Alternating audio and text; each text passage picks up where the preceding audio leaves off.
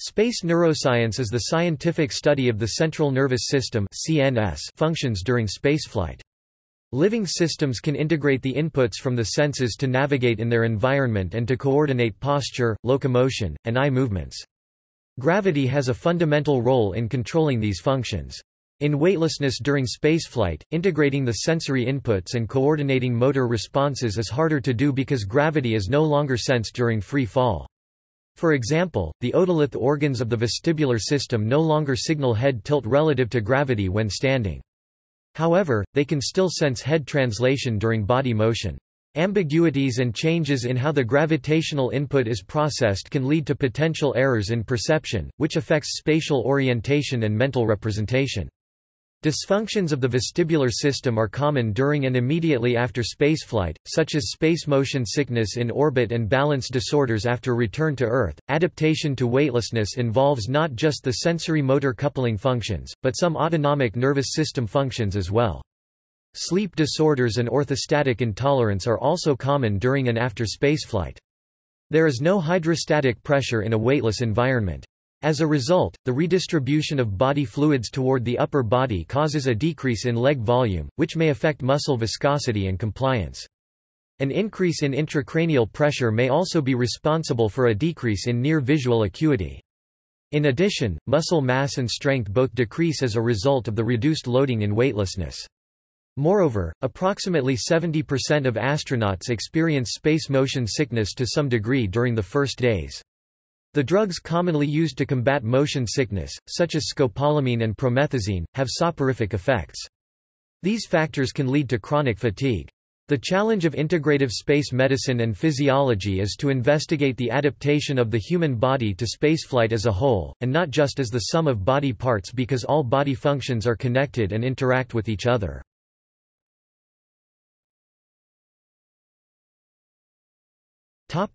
History of space neuroscience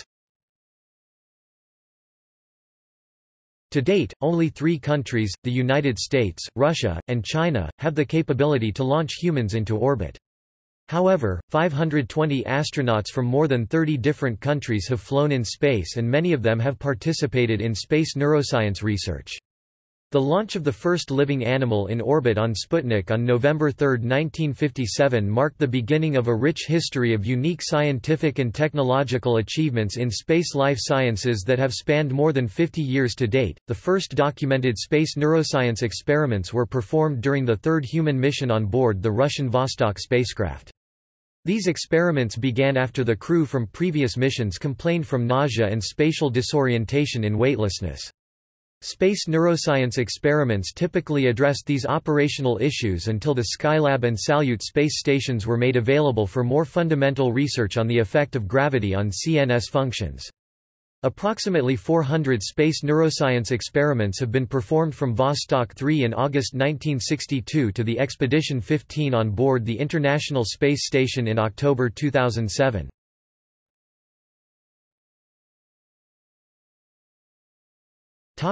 Operational aspects Sensory and sensorimotor disturbances when arriving in low Earth orbit are well documented, the most known of these being space motion sickness SMS. Individual differences, spacecraft size, and body movements cause SMS symptoms. Typically lasting the first three or four days of weightlessness, symptoms range from headaches and fatigue to nausea and vomiting. The consequences vary from simple discomfort to possible incapacitation, creating potential problems during extravehicular activity, reentry, and emergency egress from the spacecraft.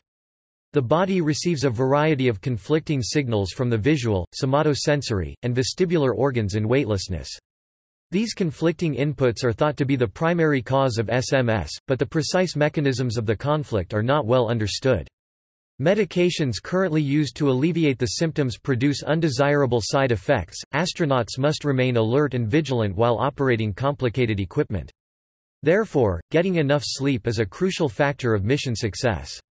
Weightlessness, a confined and isolated environment, and busy schedules coupled with the absence of a regular 24-hour day make sleep difficult in space. Astronauts typically average only about six hours of sleep each night. Cumulative sleep loss and sleep disruption could lead to performance errors and accidents that pose significant risk to mission success. Sleep and circadian cycles also temporally modulate a broad range of physiological, hormonal, behavioral, and cognitive functions. Methods to prevent sleep loss, reduce human error, and optimize mental and physical performance during long-duration spaceflight are being investigated. Particular concerns include the effect of the space environment on higher-order cognitive processes like decision-making and the impact of changing gravity on mental functions, which will be important if artificial gravity is considered as a countermeasure for future interplanetary space missions. It is also necessary to develop human response measurement technologies to assess the crew's ability to perform flight management tasks effectively. Simple and reliable behavioral and psycho-physiological response measurement systems are needed to assess mental loading, stress, task engagement, and situation awareness during spaceflight.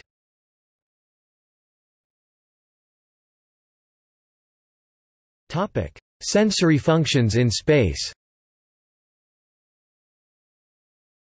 All living organisms on Earth have the ability to sense and respond to changes in their internal and external environment. Organisms, including humans, must accurately sense before they can react, thus ensuring survival. The body senses the environment by specialized sensory organs.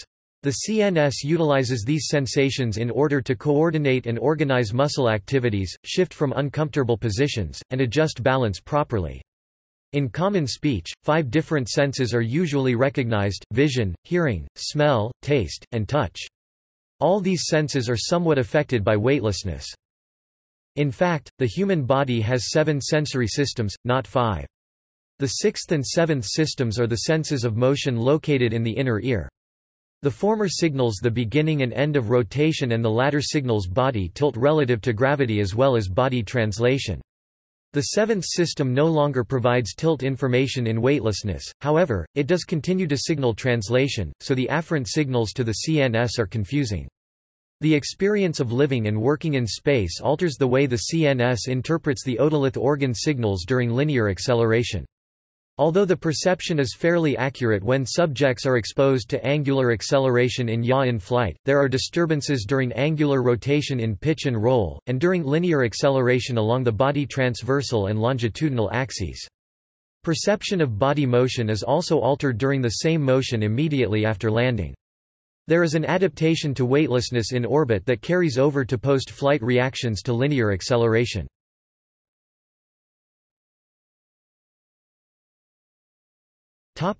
Posture, movement, and locomotions Exposure to weightlessness causes changes to the signals from the receptors to touch, pressure, and gravity, i.e., all information necessary for postural stability.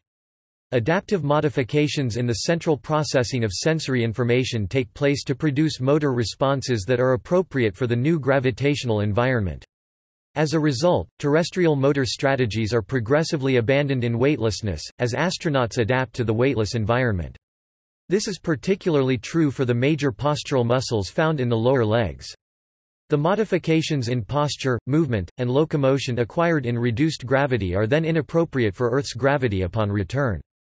After landing, postural instability approaching clinical ataxia is manifested as a result of this in-flight neural reorganization. Difficulties with standing, walking, turning corners, climbing stairs, and a slowing of gait are experienced as astronauts re-adapt to Earth's gravity, until terrestrial motor strategies are fully reacquired. Adaptation to spaceflight also induces a significant increase in the time required to traverse an obstacle course on landing day, and recovery of functional mobility takes an average of two weeks. These difficulties can have adverse consequences for an astronaut's ability to stand up or escape from the vehicle during emergencies and to function effectively immediately after leaving the spacecraft after flight. Thus it is important to understand the cause of these profound impairments of posture and locomotion stability, and develop countermeasures. The most significant sensorimotor problems astronauts will face during a stay on the Moon and Mars are likely to occur when walking around in their space suits. The suits are big and bulky and change the body's center of gravity.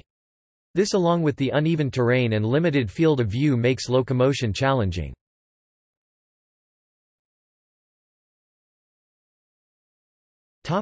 Compensatory eye movements The function of the vestibular system during spaceflight is by far the most carefully studied of all. This is especially true of the gravity-sensing otolith organs and their relationship to eye movements. The vestibular semicircular canal function seems unchanged in weightlessness because the horizontal eye movements that compensated for head yaw rotation are not affected by spaceflight. The absence of gravity stimulation of the otoliths reduces the torsional vestibulo-ocular reflex during head roll rotation in microgravity.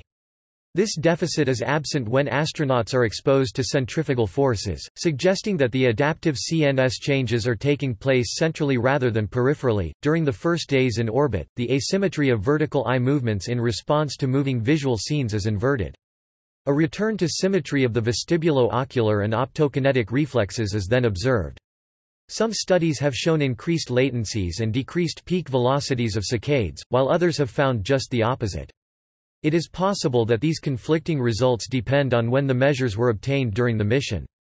There is also a serious disruption of smooth pursuit eye movements, especially in the vertical plane. Human missions to Mars will include several transitions between different gravitational environments.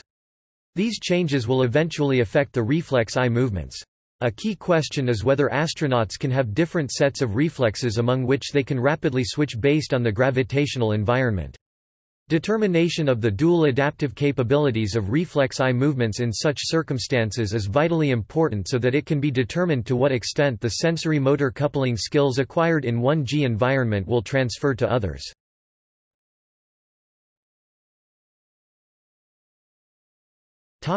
Spatial orientation In weightlessness, astronauts must rely much more on vision to maintain their spatial orientation, because the otolith organs can no longer signal the down direction.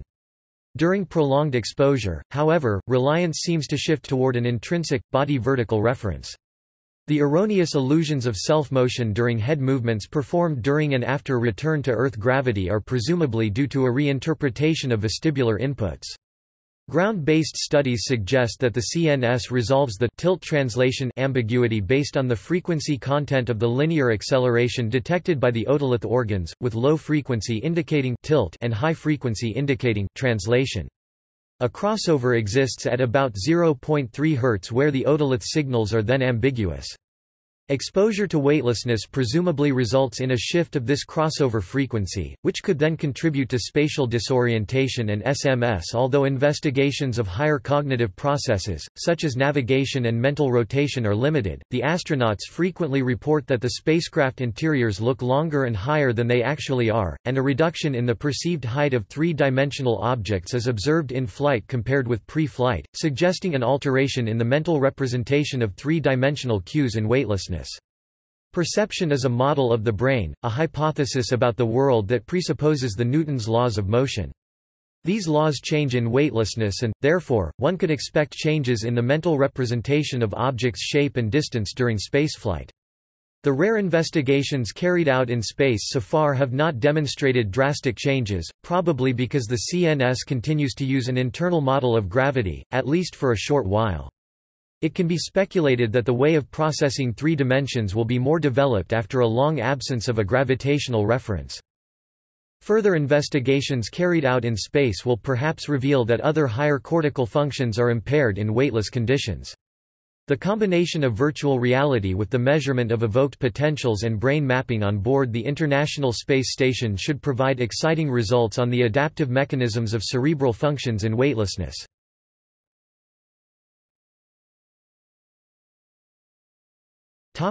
Neuroscience and space exploration From Voskhod to the International Space Station, spacecraft have improved in size and comfort and have allowed more and more people traveling into orbit.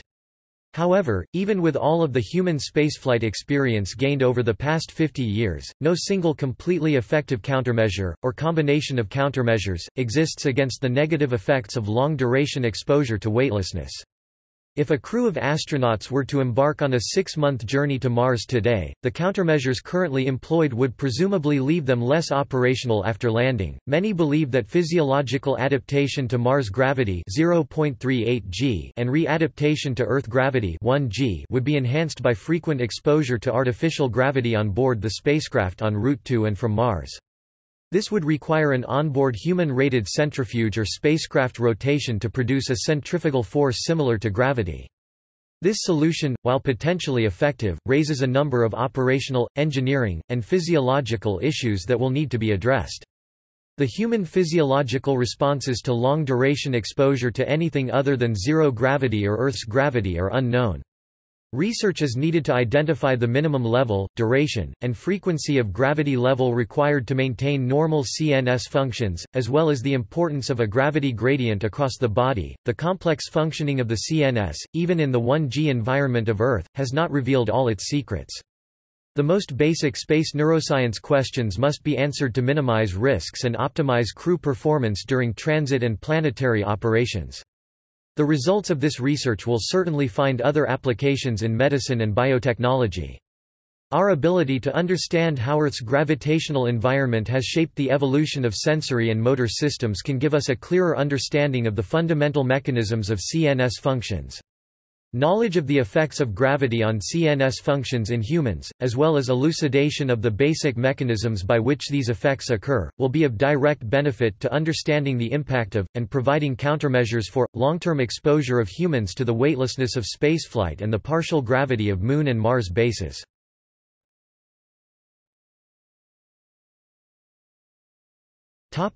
See also